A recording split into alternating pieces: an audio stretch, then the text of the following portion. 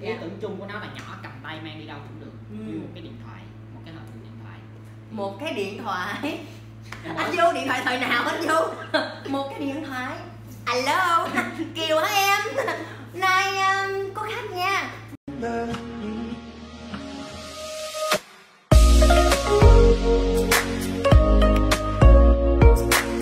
Xin chào tất cả mọi người, lại là Đi đây và chào mừng mọi người đã quay trở lại với kênh Đi ta đó tâm sự cùng người lạ. Tà ra Đã lâu lắm rồi thì Đi và mọi người mới gặp lại nhau trong một cái tập bạn đến chơi nhà Và ngày hôm nay Đi xin giới thiệu với các bạn.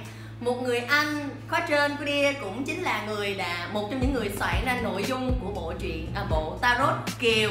Rồi, anh Nam Du, ta-da! Và bây giờ tới phần anh Nam Du sẽ chào mọi người đi anh Nam Du. Ok ờ, xin chào tất cả mọi người ha. Thì mình là Nam Du mình làm trong nhóm tác giả thì bộ Tarot Kiều. Nó, nó ngắn gì nói nè đúng rồi nó ngắn. Nó đơn giản như mình dài không? Như chính cái chiều cao của anh thì nó không có dài.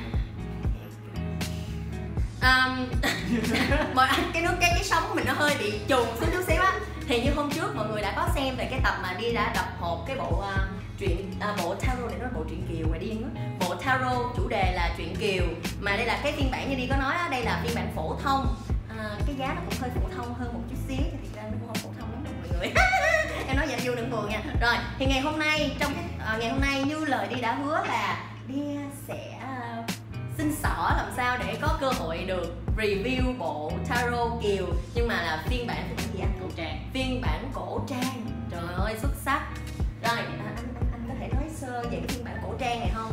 Bởi vì là như hôm trước á đi có làm về cái phiên bản của bộ truyện kiều à, bộ tarot kiều phổ thông này rồi á thì đi có nói rằng là như anh Du nói là cái chất giấy bên trong nó sẽ khác hơn. Nhưng bây giờ chưa bàn đến cái việc chất giấy có khác hơn hay không nhưng mà phần packaging là phần hộp á mình đã thấy nó khác.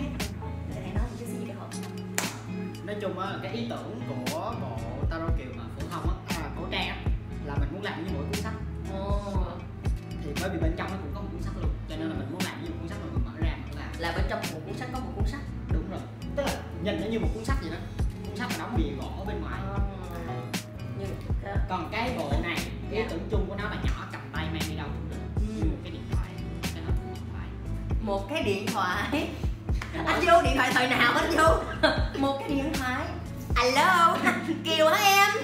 Nay um, có khách nha. Này gì anh nó kỳ lắm nhưng mà về cái phần nhìn đầu tiên của đi dành cho cái hộp này ha đi chưa có dám cầm bây giờ nãy giờ anh Du đâu có đưa cho đi cầm đâu đi dám cầm mọi người. Thì là hờn giỏi rất là hờn giỏi. Luôn nhưng mà về cái phần nhìn bên ngoài của cái bộ tarot kiều mà phiên bản cổ trang á đi thấy là cái hộp nó hoành tráng hơn rất là nhiều ha. Và thứ hai là non có vẻ là gỗ à, gỗ thật chứ không phải là giả gỗ nha mọi người nha. Đúng không anh? Gỗ thiệt đúng không. À, sao mà nhìn thiệt vậy? Nhìn rất là thật trân nha mọi người à, vậy thì em có thể cầm nó sơ bộ một chân à, em em em có rất là nặng. Em có thể tháo nó ra. Rất là nặng nha mọi người. Nên lần nào mà em mở cái hộp này em phải làm ASRM gì hết trơn anh, có nhớ. Mấy cái lần nào cũng vậy mà cũng vậy hết để cho mình thấy là cái này nó cứng. Ủa nhưng mà cái con số trên đây là như thế nào anh em du à bởi vì cái phiên bản cổ trang này á là một nó được làm kỷ niệm nhân cái ngày mất của cụ Nguyễn Du. Ừ. ờ, thì năm 2021 này là 201 năm làm 201 bộ thôi. Và bộ có là bộ không không không à do bộ là bộ của tác giả cho nên nó đánh số không hết tức là những bộ đánh số không là những bộ làm riêng cho những đối tác những người đó hỗ trợ tụi anh làm từ ngày đầu hoặc là bộ của tác giả. Wow. Đây để cho mọi người nhìn cận một chút xíu ha. Đó à, hơi chói đúng không mọi người? Đây để mình, mình, mình sẽ để nghiêng nghiêng đỡ chói không chứ mọi người. À rồi à đó trời để chị mới thấy đó. Đây các bạn nhìn thấy được cái dòng chữ tarot kiều cùng các cái hoa văn đây có cái đàn nguyệt còn gọi là ở dưới quê đi còn gọi là đàn kiềm mọi người. Ừ, cái đàn kiềm nè à, rồi mặt trăng nè và tất cả mọi thứ nó đều được ép kim hết cả. Trên một cái hộp là hộp giả gỗ nhưng mà nhìn rất là thật chân nha mọi người nha. Rồi ở đây nó có một cái tag tên. Cái tag tên ở đây đó là có để ờ, tên của người nhận. Đúng. Ví dụ như đây là anh Nam Du anh tên là Võ Nam Du. Ở đó Võ Nam Du anh có cần phải công khai là mấy tháng mấy có bồ chưa? Rồi xong Gmail rồi Facebook cá nhân để có người ta inbox anh không? à, đây là chương trình review chuyện kiều à tarot kiều hay chương trình kết nối bốn phương nha rồi ok bên cạnh đó khi mà các bạn mua cái bộ à, tarot kiều phiên bản cổ trang này á thì các bạn sẽ được một cái vinh hạnh nữa bởi vì lần này nó chỉ in có 201 bộ thôi nhưng ví dụ như là năm sau in lại thì là 202 tức là mỗi năm chỉ in lại một lần Wow. và không in thêm à. nếu mà những bạn mà mua sau này thì sẽ mua bộ phổ thông chứ Ừm. không mua bộ biết gì lúc đầu hơn bộ uh, trang này.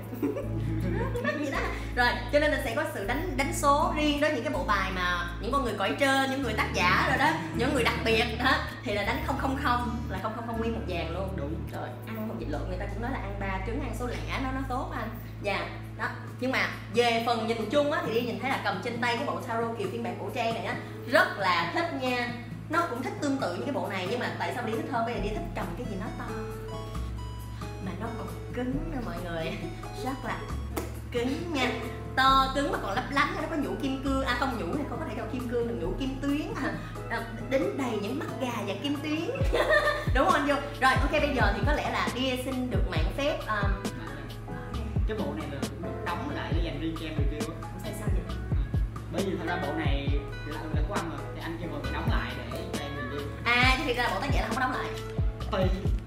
Đa số tác giả sẽ không muốn đóng lại làm gì hết. ừ, đúng rồi bảo vệ môi trường thôi giảm cái lượng nhựa plasmare nhưng mà nếu như không có lượng nhựa nào mà di chuyển nó sẽ bị trầy đúng rồi. hộp thôi hay là anh anh mở để anh đừng có sót con kiều quá. Không. có đập cái hộp thì anh cái này cho em đập hộp hả Dạ, vậy là em sẽ được phép. Anh, anh, anh không muốn nghĩ lại cái vấn đề Không. không. phá cái màn của cái bộ kiều giờ em pháp này kìa không, không hỏi em phá màn con kia rồi thì hôm nay anh phá màn con này? Anh nâng bé kiều cao trời ơi các anh hàng xóm của đi vừa mới đi về nhà với cái chị hàng xóm kia. Mấy này không biết làm gì mấy anh chị đùng đoàn đùng đoàn âm thanh nghe rất là xôn xao. Mình nâng cao lên kiểu à, đúng rồi đó. Ừ, anh nhớ là anh em như là à, không ai thấy hết trơn có em với anh thấy nhau thôi. Rồi em cũng sẽ phụ anh. Chúng ta threesome nha. Wow! Wow! Một cái hộp rất là bóng loáng nha nó rất là bóng nhưng mà tại sao ngoài sao bóng mà ở trên đây nó lại nhám? Bởi vì cái cái này dùng để khắc mấy cái này vô mà. Ừ nhưng mà khắc cái này rồi mình có thể phủ nhám à phủ bóng này được mà. Tại sao tại cho thấy nó không đẹp. Ờ, ừ, đó là yếu tố thẩm mỹ nhưng mà ừ. rồi cái này là bằng ờ, bằng thép. Không dạ thép thôi. Dạ thép nhưng mà nó lại bằng một loại nhựa. nhựa. Nói chung mà nhìn thật trơn như trời. Nói chung là rất là đẹp nha mọi người nhà chị hàng xóm nấu mì á mình ngồi mình người ta đó nó hơi kỳ ghê. Nhà chị hàng xóm nấu mì mình ngồi à, tự nhiên mình ngồi mình làm thơ xong nó bị trợt cái nhịp ra nó giống như là mình trợt với mưa vậy đó mọi người. Ok bây giờ em sẽ được mở cái khóa của bạn kiều chiếc khóa trinh tiết. Mình mở ra cho mọi người coi nha. Đây. À anh anh có thể cầm giúp em. Mọi người có thể so sánh lại hôm trước á thì cái dạng hộp bài mà đi có nói cái hộp bài này của kiều á một hộp phổ thông á đi có cái lời khen đó là cái việc mà kiều làm cái nam châm á nó rất là cứng. Đến nỗi là rất là nhiều bạn bè của đi đi qua mượn cái hộp bài đó cứ lật đi lật tới lật lui. Ủa rồi cái nắp nó đâu mày chị đã nắp nằm đây bởi vì cười, rất là khó lên đi mà đi thích như vậy nó phải e ấp cái gì nó phải chặt chẽ vào nó mới thích cơ rồi mình mở ra à, mở ra và bên trong là cái cuốn um, à, booklet ừ, đi, đi kèm một cái cuốn sách hướng dẫn nhỏ. Nhưng mà cái này cũng không gọi là cuốn hướng dẫn này gọi là cuốn sổ cầm tay nhỏ thôi. Còn này mới là cuốn sách hướng dẫn cho em xin nè. Thấy một trời một vực chưa? Đó.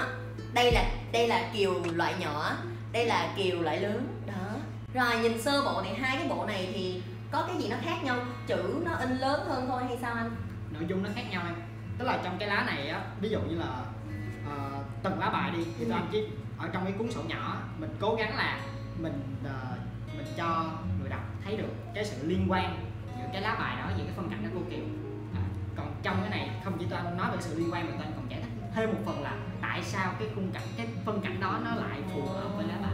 Vậy là suy ra mà để muốn hiểu cái bộ bài này một cách gọi là sâu sắc nhất thì bạn nên có một cái cuốn nó đầy đủ như thế này hơn. Đúng. Nhưng chưa cần biết nội dung theo cái ý anh dung đó nó khác như thế nào nhưng mà về phần hình ảnh là thấy khác rồi. Bên đây in màu xịn không? Rất xịn. Với hơn nữa là nó có nhiều hình ảnh hơn như bên ảnh nhiều hình ảnh hơn bộ này rất nhiều.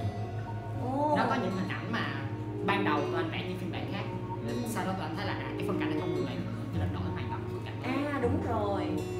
Đi có nhớ là cái trang này là cái trang Ace of Cup á. Cái trang mà kỳ đó uh, đi review cái bộ vừa rồi nó bị lỗi mọi người. Thì đây nó không còn lỗi nữa là cái đầu tiên. Thứ hai là đi nhớ là theo lá Ace of Cup bên đây thì là một trang là nghĩa còn một trang là ảnh. Đây. Đây là như thế này nhưng mà đi nhìn thấy là với cái cuốn sách này á, chữ nhìn thấy rất là dễ hơn và cái phần lý giải á. Như anh Du có nói là sẽ có lý giải thêm nữa, sẽ có lý giải thêm nữa những cái yếu tố sâu phía bên trong. Được vậy suy ra là ở trong cái cuốn sách hướng dẫn của bộ kiều phiên bản uh, cổ trang cổ trang á nó sẽ đầy đủ hơn rất là nhiều từ gọi là cái uh, bối cảnh nè Ừ. rồi những cái tầng nghĩa keyword thì người ta còn lý giải thêm là tại sao câu thơ đó lại áp dụng trong cái cái keyword của cái lá bài tarot như vậy Ừ. ừ. và tụi anh cũng có giải thích thêm một số bối cảnh hoặc nhân vật một số tình tiết ví dụ như là tại sao từ hải lại đầu hàng Ừ. và tại sao là ví dụ tức là cái cái cái lúc mà từ hải chết kiều nhảy xong nó lại là bước mặt thì mình lý giải thêm những lần như vậy hay là ờ, cái việc mà kiều từ chối kim trọng thì những cái lý giải thêm nó sẽ giúp không chỉ người nắm được cái thế giới của ta luôn người có thể nắm được cái thế giới của kiều cũng như là bên cạnh cái việc là bạn hiểu tarot kiều là cái câu chuyện kiều những cái, những cái bài thơ những câu thơ mà được trích ra để áp vào từng cái lá bài tarot hiểu được cái bối cảnh đó thì bạn còn hiểu luôn cả cái toàn bộ một cái gọi là một cái bức tranh tổng thể một cái thế giới truyện kiều nguyễn du. Bởi vì nếu mà nói về cái vũ trụ là trục tự thanh của Nguyễn Du và phối hợp với cái phát triển về mối liên hệ giữa triết lý kiều và tarot của nhà của Nhật Du thì trong cái quyển này á nó giống như là nó sẽ ở trong này giống như đây là cái lại kết quả cuối cùng thôi. Mà nó nó được nén đến hết mức có thể. Còn ở đây thì mình sẽ đi sâu hơn là mọi người không chỉ thấy được cái cái vũ trụ tarot kiều thấy thêm được về những cái vũ trụ nguyên bản mà để sinh ra cái này với hơn nữa nó sẽ có một điều nữa là mọi người này hay nhầm đó là uh, tarot kiều là chủng bài gì á? Thật ra là tarot kiều lấy cái cảm hứng và cảm hứng hình họa từ Rider Waite nhưng mà thật ra cái bộ nghĩa của nó là theo nghĩa của tác giả. Tức là nó là một cái vũ trụ tarot một cái vũ trụ nội dung của nó luôn. Ừm. thì cái điều này nó cũng không phải là hiếm hoi khi mà gặp ở trong những cái bộ bài tarot thì có hiện tại ở trên thế giới. Ví dụ như một số bộ bài như là bộ uh, Silicon Raw mà đi có đi rất hay nhắc với mọi người đây thì đó là cái bộ nó cũng lấy hình ảnh một vài cái ý tưởng từ cái bộ Rider Waite Smith. Ừ. nguyên bản nhưng mà đa số là tầng nghĩa của tác giả áp vào thì đây nó cũng không phải là một cái uh, hiện tượng quá mới lạ trong việc gọi là sáng tạo một bài tarot đúng, đúng. nhưng mà cái hay á là đi cứ ngồi sau khi đi có cái bộ bài tarot này đi cũng thử trải bài với nó mà thật sự là đi bị một cái áp lực Ừ. một cái áp lực đó là bây giờ mình chọn cái cách là đọc thuần túy theo Rider Waite hay là đọc theo nghĩa của cái bộ truyện kiều này đó, đi rất áp lực về cái phần đó. Thì theo anh Du là khi mà mình sử dụng cái bộ này, mình nên đọc theo cái hướng nghĩa là cứ right away làm tới thôi, hay là mình nên theo sát với cái nghĩa của cái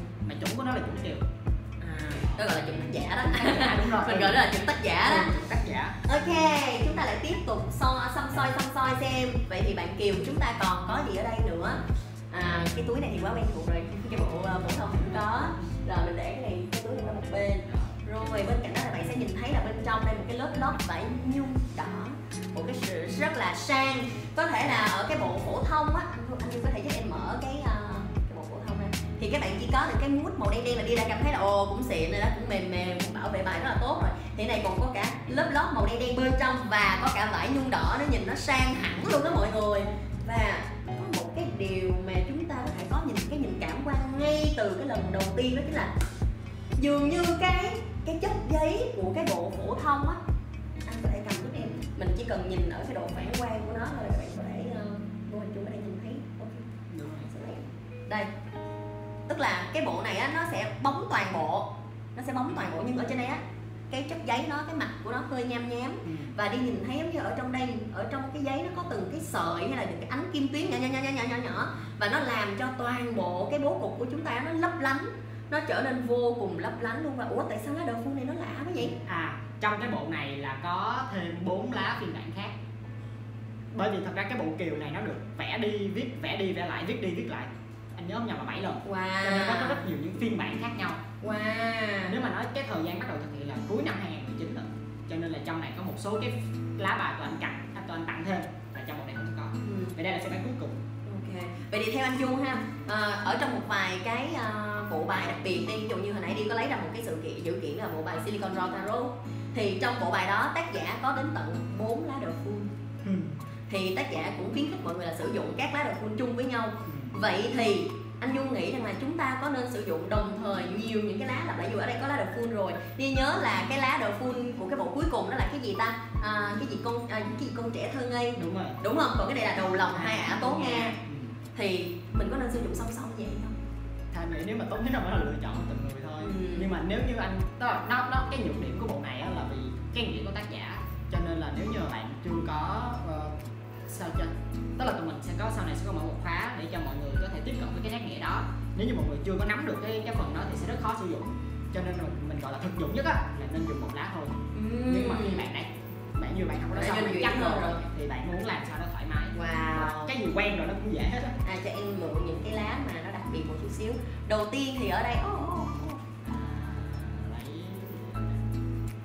Đầu tiên thì ở đây à, đi còn nhớ là đây chính là cái lá tặng kèm của phiên bản 2021 tức là ở sẽ có phiên bản 2022 chứ? Đúng. Ờ và chắc là phiên bản 2022 là lá khác. Trời ơi vậy là mỗi năm vé xanh một bộ kiều hả trời đó đây đầu tiên là lá tặng kèm.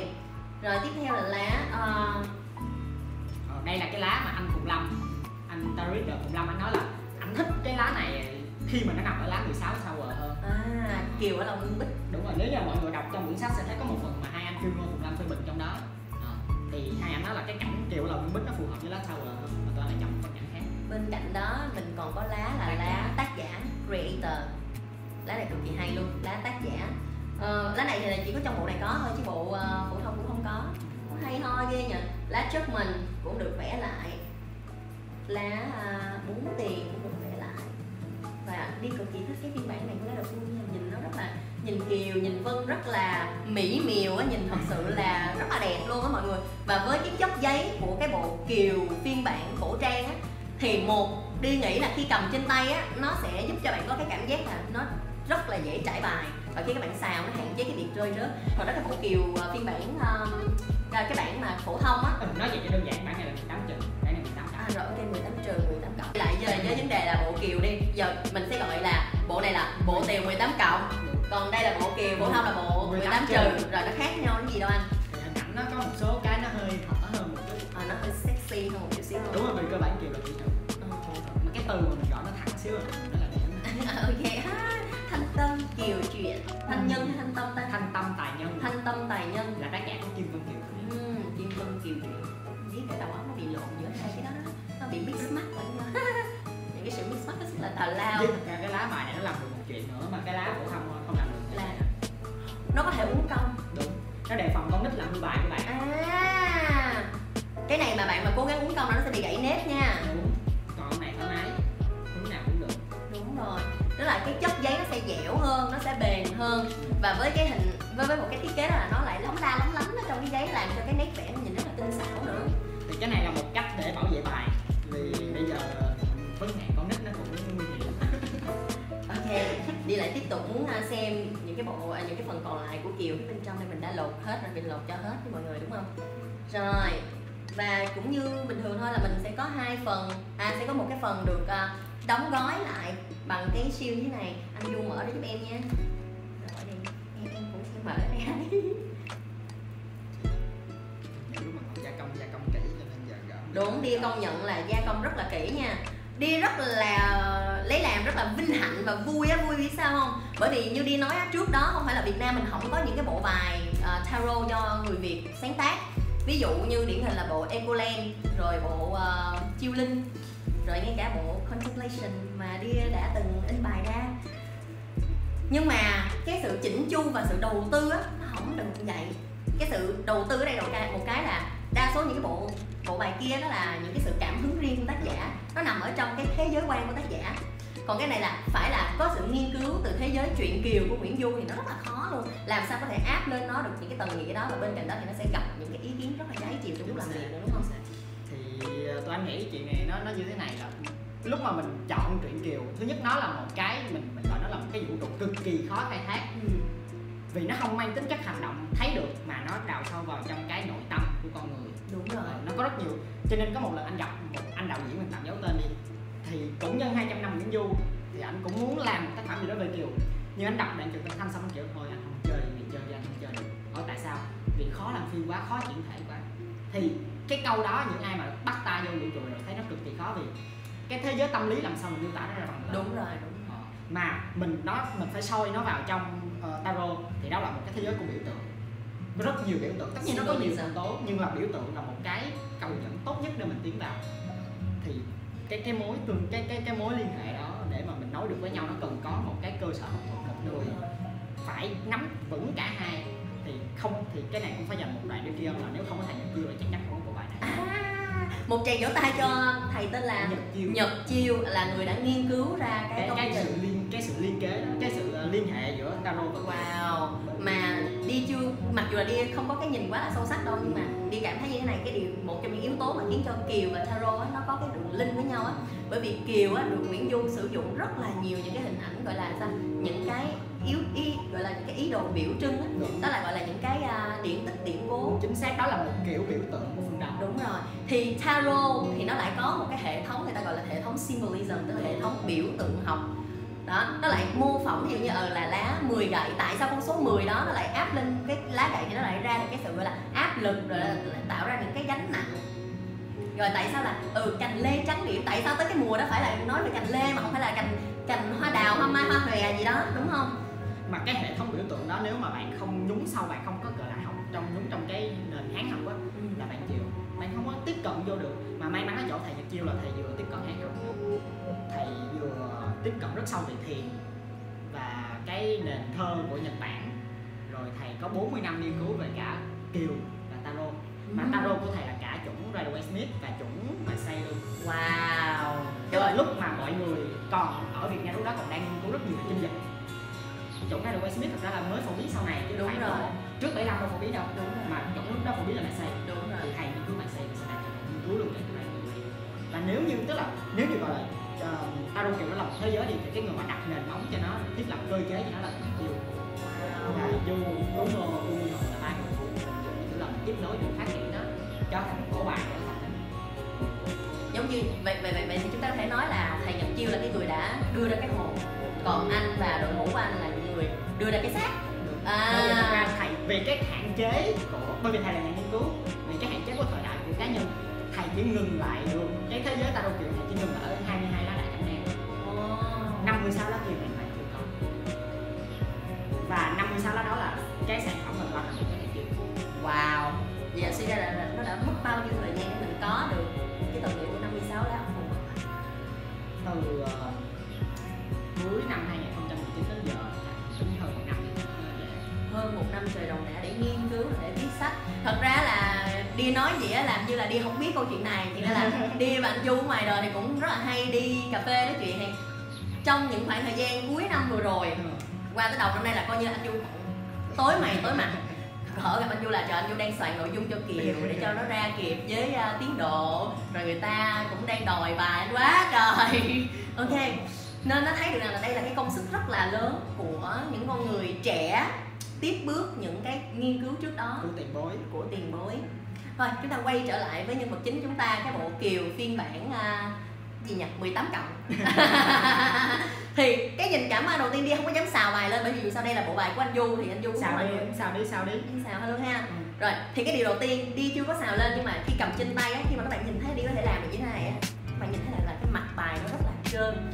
Nó ngược lại hoàn toàn so với cái bộ phổ thông. Các bạn nhớ là trong cái bộ phổ thông á lúc mà đi xào lên trong cái lần đầu tiên á nó bị dính lại với nhau và cái mặt bài nó rất là rít nó nó không có uyển chuyển được như thế. Anh anh du có nhìn thấy được cái hiệu ứng ở bên đây nó rất là uyển chuyển. Nó đi là nó sẽ đi hết nguyên một cái đường lượng sống còn bên đây nó sẽ bị chia thành từng tầng từng tầng từng tầng. Cho nên là nó sẽ rất hạn chế trong cái phần trải bài. Mà đi là người rất thích gọi là trải bài đẹp á. Mình trải bài đẹp thì mình cũng đọc bài. Đúng rồi. Cảm tức là với yêu tức là mình mình cũng mình chọn là giá nhà để phục vụ riêng cho những bạn tarot reader. Ờ, để mà cái cảm giác trải bài rút bài các bạn Nó rất là sung sướng. tốt nhất có thể. nó trơn thật sự. Nó rất là trơn nha các bạn. Rồi. Sao đi em sao đi sao em sẽ xào bài và cái cảm giác xào bài rất là thích. Một cái điểm mà đi đã nhắc đi nhắc lại, một cái điểm cộng luôn đó là cái việc mà khi mà ép kim cho cái bộ bài kiều này á, anh chị đã sử dụng cái loại ép kim nó rất là xịn sò, nó không bị dính ra tay. Rồi quay trở lại với cái ép kim thì ép kim nó không bị dính ra tay, ví dụ như một vài bộ mà đi có biết là bộ Ostara mặc dù nó cũng ở nước ngoài, nhưng mà thử mua bộ Ostara về xài một hồi là dính bạc đầy tay hết trơn thì ok, nó không có dính ra tay mà. Nó được một cái hay đó là cái cái nền của nó nó rất là nhám.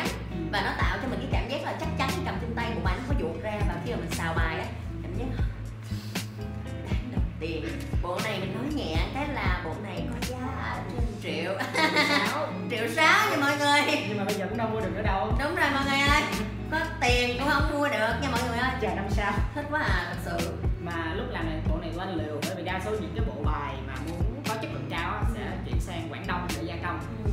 mà tụi anh mình liều là mình chơi thẳng lấy đồ Việt Nam để gia công luôn wow. Ồ tức là bộ này là 100% gia công Việt Nam hết luôn. là hàng Việt Nam chất lượng cao. Là người Việt Nam làm ra rồi ở Việt Nam sản xuất ra thì đương nhiên người Việt Nam nên ủng hộ hàng Việt Nam. Mà bây giờ mọi người muốn có ủng hộ nữa thì cũng à, đợi năm sau bởi vì 201 bộ như là Hết rồi. đã hết luôn rồi. Rất là cháy hàng Ủa vậy còn bộ phổ thông hiện tại nó bộ phổ thông còn. Bộ phổ thông của anh vẫn sẽ tái bản. Ừm, vậy thì thôi bây giờ mình chưa có cơ hội chạm vô cái bộ à, 18 cộng. Thì giờ mình chạm đại bộ 18 trừ được 18 có cộng với trừ thôi nha. Ok. Rồi. Đầu tiên à, nãy thì hơi hơi nhiều những cái đầu Ừ. tiên rồi. Nhưng mà đi phải nói đi đó là Kế điểm, tiếp. cái điểm điểm mạnh của cái bộ này là nó quá là bắt sáng mà nó quá là khiến cho đi cảm thấy thỏa mãn. Vì cái giấy này nó nhũ vàng. Đúng không nó nhũ wow. vàng và nó mạ vàng luôn. Nhũ vàng là như thế nào anh? Tức là nó có những cái sợi vàng nhỏ trong bộ bài. Ừm, nếu bạn nhìn kỹ em sẽ có những cái sọc mà đúng nó- rồi em em thấy nó giống như là có những cái hạt kim tuyến lắm la lắm lắm ờ, và nếu em nhìn kỹ em sẽ có những trong những cái những cái đường chỉ á. Ồ đúng rồi đúng rồi đúng Ừ. rồi Trời ơi, giống như hồi xưa mà người ta may phụng bào đó Ừ. Người ta luồn chỉ vàng vô thì bây giờ mình luồn à, mình mình mình in bộ bài kiều mình luồn giấy vàng vô cho nó lóng lánh chơi vậy đó. Mình trời ơi. nó nó làm cho cái rút bài mượt hơn và nó không có rớt ra quá nó làm cho trơn cái bộ bài hơn. Ờ, nhưng mà nó không bị rớt nha do chính cái những cái sần sùi này nó tạo thêm ma sát làm cho cái trải nghiệm của người rút bài. Và ở đây là một cái điểm cộng nữa là ở trong cái bộ bài à, phổ thông của đi á Thì trong cái lúc mà đi dở dở ra rồi đi review cho mọi người thì nó có một vài lá do là cái chất lượng giấy in á nó rít cho nên nó bị tróc nó bị tróc màu nó bị tróc màu lên rồi. Riêng cái bộ này đi nhìn thấy là bởi vì cái cấu cấu tạo của cái khối giấy này á nó trơn nó tạo điều kiện vô cùng thuận lợi cho cái việc là xào lên nó không có bị ảnh hưởng nhiều. Thì đó thì cái đó là nó nó nó, nó là cái nhưng mà đó cũng là cái hạn chế của cái bộ phổ thông cũng như là từ cái hạn chế đó mình nhìn thấy được cái điểm mạnh rất mạnh của cái bộ 18 cộng cho mọi người nha. Nó là cái cái cái cái điểm trừ của cái quyết định của anh chọn gia công ở Việt Nam em. Bởi vì thật sự là anh từng làm sách rồi và anh từng làm bài rồi tức là anh từng làm hai lần sách từng làm lần này bài đây lần thứ ba. Thì thật ra là cái công nghệ in của mình có bằng Trung Quốc thật sự là như vậy họ họ gia công quá tốt. Khi mình khi anh chọn Việt Nam là anh chấp nhận một cái tỷ lệ sai sót rất cao. Cái đó là là, là mình phải thú nhận thật. Cho nên là khi mà thì đó giờ là sau lúc mà anh anh nói với em là cái khi em cầm cái bộ bài chất lượng rất cao của nước ngoài vì được gia công Trung Quốc á là nhút nhút họ sẽ cảm giác là sẽ nó tốt hơn. Đúng rồi đúng rồi. Ờ, đó là vì nó không phải là vấn đề của một đội ngũ cá nhân mà nó vẫn cả một cái nền gia công chung. À, ok bây giờ chúng ta ngừng lại những cái sự ca tụng và tôn vinh cho kiều. Bây giờ Ừ. em hỏi thẳng anh ha. Anh là những người trong cuộc nè. Khi mà anh làm bộ kiều này anh cảm thấy anh là chưa thỏa mãn hoặc là anh cảm thấy là mình cảm thấy là chưa làm được hoặc là cái điều mà mình thất vọng nhất ở cái bộ kiều Thật là gì cái điều chưa làm được là nó sẽ vô số nhiều điều rồi mà nó cái chất lượng giấy Ừ. in là một cái mà nó rất rõ ràng mặc dù Ừ. mình đã cố gắng nhưng mà thực tế nếu bạn cầm bộ bài của gia công của người của quảng đông gia công bạn thấy cái chất lượng hoàn toàn đó cao như là một cái um, một cái sự chênh lệch nhẹ không có nhẹ đâu nhiều lắm đó vì ai ai đã từng làm sách hay là in ấn rồi sẽ biết cái cái sự khác biệt nó rất lớn Ừ. cái thứ hai ờ, là một cái giới hạn về mặt nội dung mà ai cũng sẽ ờ, ai cũng sẽ gặp nhất là ở anh mà khi ở mức mình còn khá trẻ là em tưởng tượng thầy kêu thì mất 40 năm để mình xây dựng mình thay đổi. Nhưng 40 năm đó anh nén lại trong một năm. Thì dù mình có học giỏi đến kiểu gì thì nó cũng cũng rồi cũng tốt. Mà mình lại xây dựng một cái vũ trụ nội dung của mình anh với gần đây trong một lần ngồi gia công anh với chị tú ngô là họa sĩ minh họa bộ này có nói là chị bây giờ mình cho thêm thời gian cho thêm tiền bạc làm lại lần nữa mình làm khác không vẫn khác. Ừ. tức là bộ này anh viết lại sách anh viết lại 7 lần. Anh viết lại 7 lần. Anh còn 7 lần bản in trước. Trời nhưng mà đất anh ơi. với chị tú nói là nếu viết lại lần thứ 8 mình nó sẽ làm tốt hơn. Tức là vì sao nó có cái đó? Vì qua từng lần làm mình tiến bộ hơn. Mình phát hiện ra mình có những cái lỗi nhưng nếu không có bảy lần đó mình không mình không có mình không có bước lên những cái nấc kế cho nên là nếu mà nó còn khiếm khuyết hay không thì nó sẽ còn tức là cái khiếm khuyết trong nội dung vì mình mình tạo ra một cái vũ trụ tarot mà mình nghĩ từ những bộ kinh điển như là Waite với Masai Thor ba chủng đó thì những chủng nào nó cũng có những cái ưu cái nhược đó. Thì bộ chủng này nó cũng vậy thôi. Chuẩn tác giả. Chuẩn tác giả lấy uh, hình ảnh của Waite và cảm hứng từ truyện kiều. Hay đơn giản nhất nè sẽ có một cái lỗi mà nhiều người gần đây nhất có một bạn review với anh thôi là trong lá The Moon. Ừ. đây. Thì trong những lá The Moon khác bạn nhìn thấy là thường sẽ có hang chó sói đúng không? Đúng rồi. Nhưng mà ở đây á tụi anh lấy con lấy một con đi. Và bạn này nói á, là cái hình tượng này trong lần thứ ba cũng thay đổi. Bởi vì sao? Vì con chó sói khi mà nó tru giữa mặt trăng là nó đang cảnh báo cho cái nguy hiểm hoặc là nó là một cái nghi thức của một cái gọi là cái gì ta? Huyền đàn. thuật Ồ, à hoặc một cái dấu hiệu gì đó về bày đàn đúng như em nói thì nó có bị lệch đi cái nét nghĩa của đồng mua hay không thì cái tarot là biểu tượng nó có rất nhiều biểu tượng trong đó ờ. thì lúc làm tụi anh đã không đủ lưu ý đến những vấn đề đó. Ừ. Thì đúng là trong những cái khi mà tác giả vẽ ra thì họ sẽ có những cái phóng túng riêng trong cái cảm hứng của họ Ờ, đơn giản lắm chỉ là phóng túng mà khi mà bạn nhìn ở góc độ tác giả là bạn cố gắng xây dựng một cái hệ thống nó tương tác với nhau và nó hoạt động được còn khi bạn cầm trên bài đó là bạn sẽ nhìn thấy được một cái hệ thống hoàn chỉnh rồi và trong cái hệ thống đó bạn sẽ thấy lỗi Ừ. và chỉ khi nào mà mấy bạn góp cái ý đó lên thì mình mới có thể à cái này mình sửa được hay không sửa và thứ hai là về những phần chỉ trích anh nghĩ là chắc chắn có Ừ. vì mỗi người khi mà nhìn bản chất của ngôn ngữ biểu tượng là mỗi người nhìn sẽ có một cách nhận Đúng khác rồi. nhau thì họ sẽ có những cái ý tưởng khác và sẽ có cái cách phản ứng khác có người là nghĩa như thế này mới được thế này là sai rồi vậy là đúng vậy là sai thì những cái phản ứng đó thì anh nghĩ nó là một cái trải nghiệm mà chỉ có những tác giả mới có thôi. Ừ. vậy thì đứng trước những cái phản ứng mà nó không mấy được tích cực vậy thì anh với đội ngũ thì sẽ anh cảm thấy nó là một cái vinh hạnh. Vì thật sự nếu như mình không làm ra bộ bài này mình không có bao giờ có được cảm giác mình bị chửi. Những con người làm bài để bị chửi. Với thứ hai là mình mình chỉ mong một điều là khi mấy bạn mà công kích cái sản phẩm này chắc chắn là mình mình biết nó có khiếm khuyết cho nên các bạn cứ công kích. Nhưng mà ờ, đừng công kích cho chết công kích để tụi mình còn làm bài nữa và để các bạn công kích tiếp. Ừ. vì bạn bỏ tiền ra mua ủng hộ tất nhiên bạn được quyền đòi hỏi Đòi cái hỏi. chất lượng của nó. Đúng nhưng mà một cái điều mình mình lại thấy nó may mắn nữa là nếu như mình không làm ra bộ này thì các bạn nếu công kích chỉ được công kích tụi nước ngoài. Ừ. còn khi mình làm ra này mình chấp nhận khiếm khuyết đó thì cái công kích của các bạn nó giúp cho tụi mình hoàn thiện hơn Ừ. vì nếu như một người chưa từng làm bài nó sẽ hơi nhát nhưng khi tụi mình đã từng làm một cổ rồi tụi mình có thể làm những cổ thứ ba và tụi mình chấp nhận những công kích đó và đón nhận nó thật sự nha là những cái vinh hạnh của những người đã làm ra sản phẩm và mình chấp nhận nó như một cái điều mà mọi người xứng mọi người có quyền để làm không có bất kỳ một cái phản kháng hay vấn đề gì cả. Chỉ mong, chỉ mong là khi mà các bạn công kích thì đừng đến mức công kích cho chết mà để tất cả chúng ta đều có cơ hội để công kích đúng tiếp rồi đúng để được chửi tiếp. Đi sẽ gọi cái đó là cái tinh thần xây dựng đúng không? Bởi vì á, dù sao đi nữa mọi người cũng nên nhìn uh, tarot kiều ở một cái phương diện đây là bộ bài đầu tiên của Việt Nam mình mà cái sự đầu tư cho cái bộ tarot này nó nó được chỉnh chu đến mức như thế. Nó được truyền thông nè nó được lên báo chí nè nó được những đàn anh lớn trong giới tarot như là anh Phùng Lâm hay là anh Phiêu Ngô nói tới sướng tên lên rồi bình phẩm. Thật sự nó Nó có một cái lần anh nói chuyện với anh anh anh Phil Ngô á thì anh mới hỏi anh là cái khó nhất khi mà em làm bài là gì? Ừ. thì anh mới nói đó là việc chuyển hóa cái biểu tượng từ đông sang tây. Thì thật ra anh nói là anh tiếp xúc với gọi là văn hóa lịch sử từ xưa từ nhỏ rồi nhưng mà mình nắm hết chưa thì nó là thật. Với lại thứ hai là cái khối lượng biểu tượng điển tích mà Nguyễn Du sử dụng nó cũng kinh khủng trong đó. Và những người nào không quen sẽ cảm thấy như là phụ hơi khoe đó. Ừ. nhưng bởi vì phụ đang nó một cách rất dạy. Giống như một bài rap mà bạn đang quá nhiều vần thì Đúng rồi. Nhiều. Đối với những người không quen sẽ cảm thấy thoải mái quá nhiều cái sự ẩn dụ quá nhiều vần thì cái chuyện đó nó khiến cho tụi anh gặp rất nhiều trở ngại. Và anh kêu nó là nó là trở ngại được. Và ảnh với Lâm ờ, đang làm việc trên một cái công trình nghiên cứu là làm sao mình có thể chuyển đổi của mẫu à, là đem những Từ cái phương Tây. phương tây và Về phương đông nó có những cái tầng nghĩa nó giống nhau Ừ. chuyển qua thì thì anh nói là nếu như anh làm xong cái chuyện đó thì cái việc làm bài sau này nó đơn giản hơn rất nhiều. Đúng. Ờ, là bạn sẽ có một cơ sở học tập bạn làm rất đơn giản như bộ này nếu không có thầy chiêu là bạn chắc chắc. Đúng rồi bởi vì mọi người sẽ bắt đầu nhao lên rằng là ở đâu ở đâu vì điều gì mà các bạn dám nói là ừ cái câu thơ đó ứng với cái lá này lỡ đâu cái ý tác giả khác thì sao vì vì mình thiếu một cái hệ thống đó và anh Phil Ngô với anh Phùng Lâm anh thấy được chuyện đó và anh nói thẳng chuyện đó.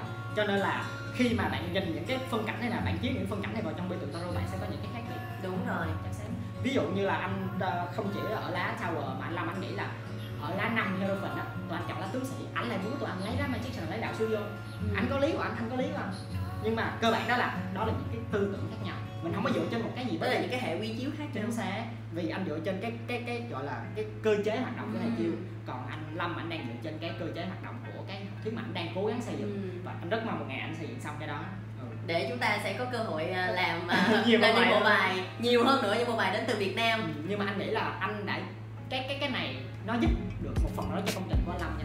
Vì nếu như không có bộ tarot kiều á anh lâm anh có thể lấy những ví dụ đó là bài chủ nhật của hàng chung không có một bài của Việt Nam. Cuối cùng người Việt Nam mình làm ra một cái công trình mà nó giúp cho cả phương Đông luôn nhưng mà ngay trên đất nước mình mình không có lấy một ví dụ. Thì ít nhất là ok bạn có thể ừ, lỗi chắc chắn mình chấp nhận nó có lỗi luôn. Bởi vì hẳn là nếu mà nói là lấy cái bộ kiều này á, nó là một cái hệ quy chiếu cho anh Lâm anh làm những cái gì đó tiếp theo của ảnh. Mà nó chỉ có gọn trong Việt Nam em nghĩ không đâu bởi vì Việt Nam mình ảnh hưởng cái nền văn hóa của từ ờ, phương Bắc rất là nhiều. xác. rồi phương Bắc là ảnh hưởng ờ, ra những nước lân cận nữa. Chính xác Việt Nam mình người Pháp á họ gọi Việt Nam là Indochine Indo là những cái thế giới văn minh Ấn Độ China là thế giới văn minh Trung Hoa. Mình nằm ở giữa hai thế giới văn minh. Mà đó là hai cái nôi của văn minh nhân loại dạ chính xác. Cho nên là cái sự đa dạng trong văn hóa Việt Nam nó, nó rất kinh khủng. Ừ. và cái việc anh anh anh nhìn cái công trình đó của anh Lâm và anh Phiêu Ngô á là nó không chỉ dành cho người Việt Nam đâu mà nó có thể cho cả một cái nền tarot ở phương Đông luôn ở châu Á luôn.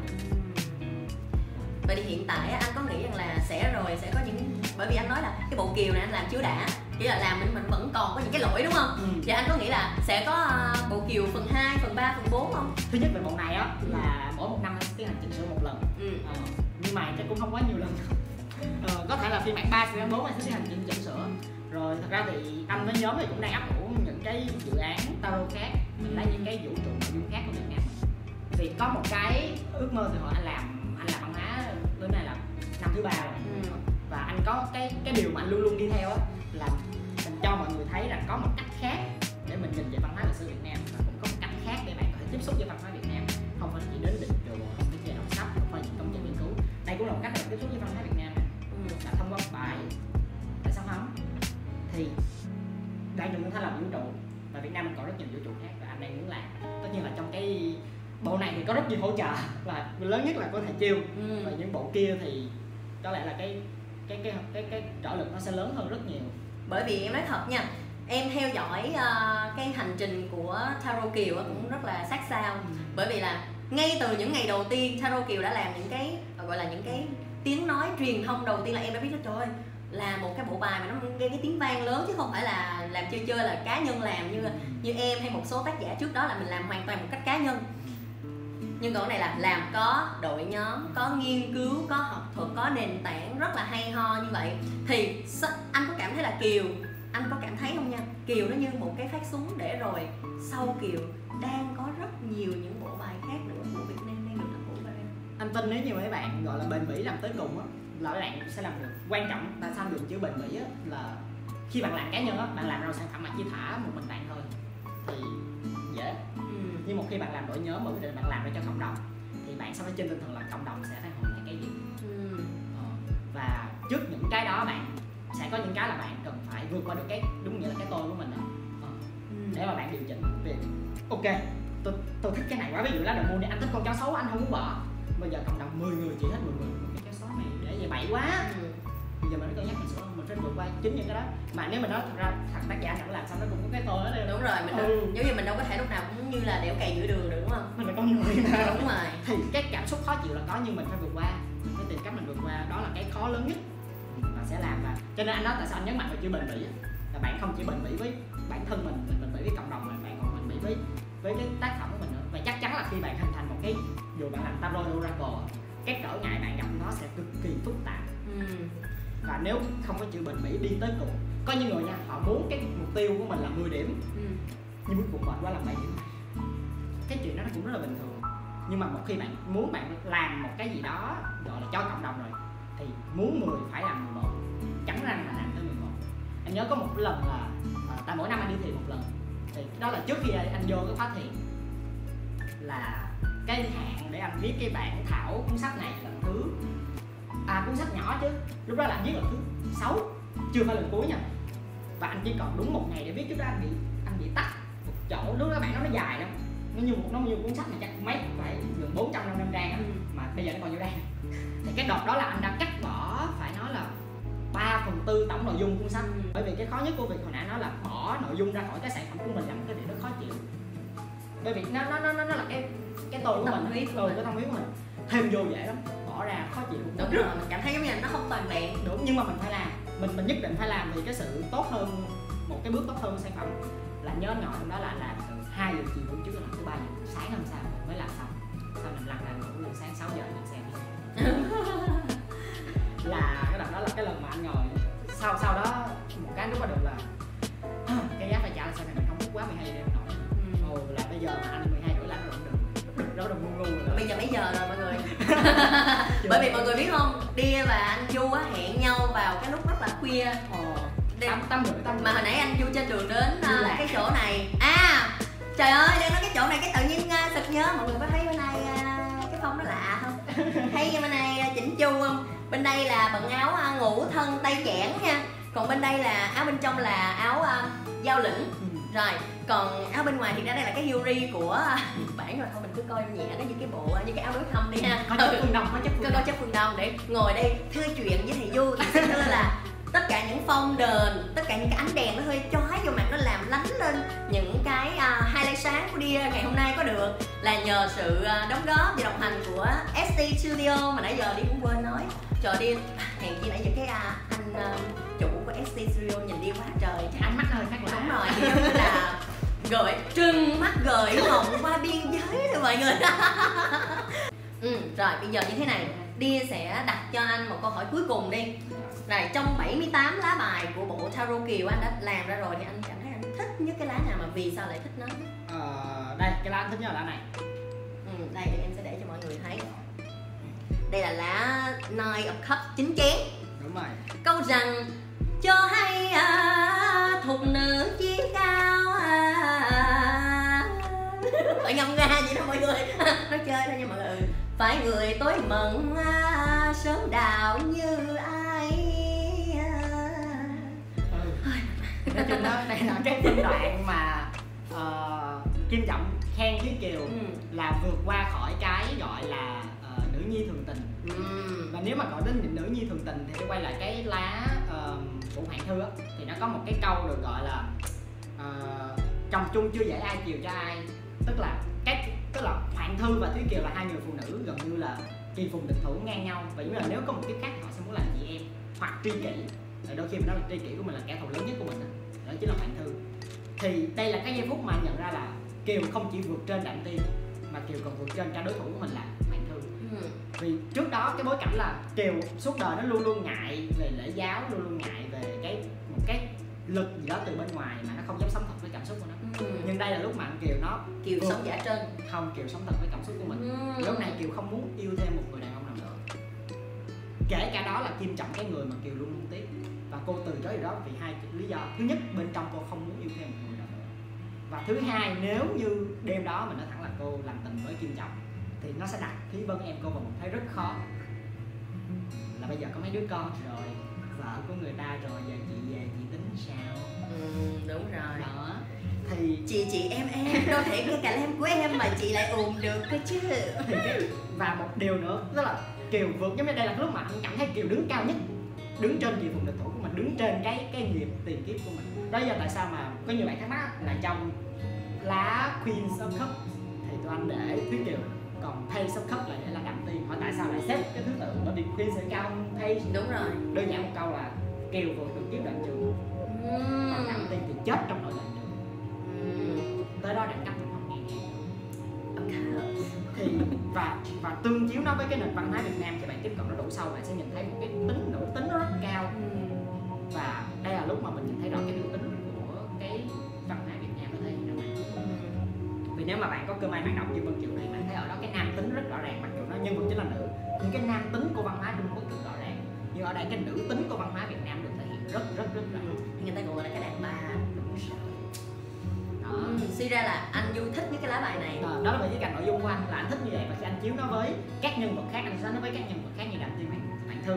Và khi anh anh anh so nó anh chiếu nó vào cái văn hóa Việt Nam thì anh thích cái phân cảnh đó và cái ý những cái lớp dạy sao đó. Và một điều anh thích nữa là lá này là một trong những lá mà anh, cho rằng cá nhân anh cho rằng chị tú chị tú ngô vẻ đẹp nhất. Ồ. Là về mặt thẩm mỹ là anh thích là một cái cô gái đó ngồi cầm hoa anh gu anh du là thích một bạn mặc cái đồ mà nó thanh thoát thanh tú thôi màu kem màu trắng như mọi người nha. Rồi cầm hoa sen mình có là trang à, mình mình có trang điểm cũng nhẹ thôi cái mày nhẹ thôi chứ mình cũng đừng có xách lên tay quá anh, anh du không có chịu. Nhưng thiệt ra anh anh du ngắm gái dữ lắm mọi người. Thôi cái này mình cũng có bắt bẻ nhau trên sóng truyền hình à, trên sóng youtube như thế này đó là sự thiệt đúng không? Ok chốt lại như thế này. Ngày hôm nay là một cái buổi mà đi cùng anh du ngồi đây để bàn về cái tác phẩm tarot kiều với hai phiên bản là phiên bản phổ thông tạm gọi là 18 trừ và phiên bản uh, cổ trang 18 cộng. Thì đó là những cái góc nhìn của Dia và cả là góc nhìn từ tác giả từ một trong những tác giả là anh Nam Du dành cho cái đứa con tinh thần kiều của anh và còn bây giờ thì đến phần của các bạn, cái phần mà muốn các bạn đánh giá một cái điều gì đó, thì như đi có nói trong cái clip trước đó là bạn cần phải có cái sự trải nghiệm với nó, chứ không thể nào ngày một, ngày hai mình đọc qua rồi xong nói, ơ, cái ơi, cái hình này dẹp da trần rồi với cái cục thư này không hợp. Rồi xong mình nói vậy cũng không được, nói chung mình nên cho mọi thứ cơ hội để nó bước vào cuộc đời của mình cho người khác cơ hội cũng là cho chính bản thân mình cơ hội. Còn đối với uh, đi tarot tâm sự của người lạ đó là đi muốn cho kiều cơ hội đến nhiều cuộc đời không có cho đi cơ hội á không có cho đi cơ hội có tiền á mọi người. Chứ không đây là gọi là kiều rước hai bạn kiều về nhà à lộn đi rước hai bạn kiều về nhà. Vui chơi vui chơi chung với con nay nhỏ bé này rồi. Còn bây giờ thì uh, à còn còn còn một điều anh phải nói nữa ừ. là nó sẽ có một vấn đề khi các bạn trải nghiệm á là vì mình nói mặc dù kiều là sản phẩm của người việt nam nhưng ừ. thực ra là mình đọc mình không có hiểu. Nó sẽ đọc rất khó hiểu vì cái tiếng việt của cụ nguyễn du dùng á là tiếng việt của thế kỷ cuối 18 đầu 19 ừ. còn cái tiếng việt bây giờ mình dùng là một cái tiếng việt nó hơi lai mỹ rồi. Còn cái tiếng việt đó nó nó khác lắm. Cho nên nó là có sự uh, chuyển hóa. Đúng rồi cho nên là khi mà mọi người trải nghiệm cái lá bài này nó nó nó là một cái điểm yếu của bài luôn á là buộc các bạn sẽ phải đọc lại kiều một chút. Ừ. và nó sẽ cần một sự kiên nhẫn các bạn. Ừ, kiên nhẫn để nghiên cứu xem cái ngôn ngữ ngôn từ đó. Ừ. dùng là lý do tại sao. Đúng rồi. Thì nó sẽ hơi khó nó là một cái, cái khiếm khuyết mà chấp nhận trong sản phẩm này. Ừ. và hy vọng rằng như là anh Du nói là trong thời gian tới sẽ tiếp tục có những cái sản phẩm tiếp theo. Mà như anh Du có hé lộ trong uh, cái buổi nói chuyện ngày hôm nay là anh Du đang ấp ủ anh anh Du và đội ngũ mình đang ấp ủ. Bắt đầu làm rồi đang bắt đầu như bước đầu tiên. Wow một cái bộ bài. đúng thêm những bộ bài nữa và đang lên kế hoạch ví dụ như cái cái khó nhất khi bạn làm một vũ trụ nội dung á là bạn phải kiểm soát thế giới nhân vật đó và cái kiều á, nó chỉ có ba hai trăm năm mươi bốn câu thôi, nhưng mà những vũ trụ sau nó sẽ phức tạp hơn ừ. và đi hy vọng rằng là ở những cái công trình nghiên cứu tiếp theo của đội ngũ anh vô những sản phẩm tiếp theo thì nó sẽ càng được uh, tân tiến hơn. chỉnh chu hơn và rồi sẽ được nhiều người đón nhận hơn nữa. Bởi vì một trong những cái điều mà đi cảm thấy rất là thán phục mọi người là mọi người đã đem được cái sức trẻ của mình cũng như với cái sự am am hiểu và phần nào mình phải gọi đó là cái sự say mê về văn hóa việt say mê về cái sự gọi là muốn um, vươn mình lên. Đấy, muốn uh, đem mình ra với những uh, cường quất năm châu như năm điều bác hồ dạy. Đấy nói cho vuông là đi rất là hâm mộ mọi người cho nên là mà cho phép đi bắt ta ăn một cái. Bắt ta ăn một cái. Thôi bớt ôm nè. À, tại vì có bạn trợ lý ngồi đằng sau cái uh, camera kêu ôm nhau đi. Dạ chương trình này là chương trình review chứ không phải là chương trình đến đây và ôm mà chúng close up.